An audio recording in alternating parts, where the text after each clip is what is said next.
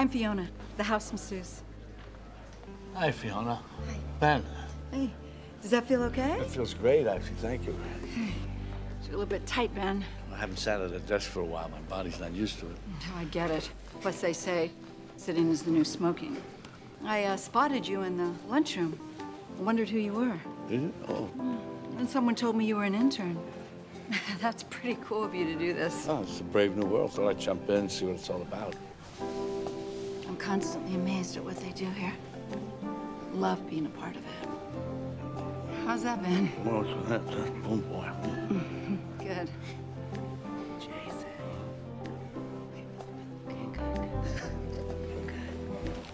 good. Here you go. Is that better? Oh, my, oh, boy, oh, boy. Oh, how's that?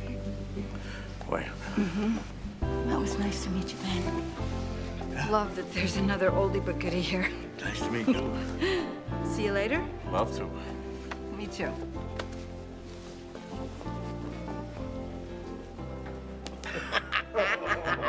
You're not as old as I thought you were.